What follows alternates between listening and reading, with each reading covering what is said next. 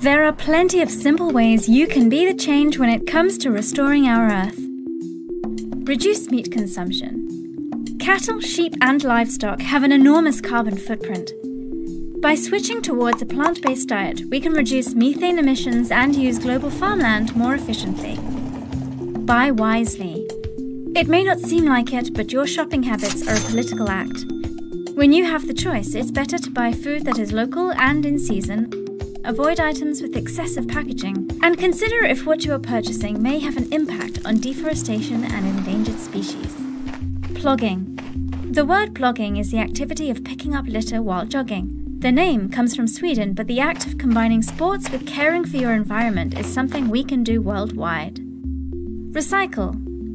Take that extra step to wash out plastic and glass containers and cans.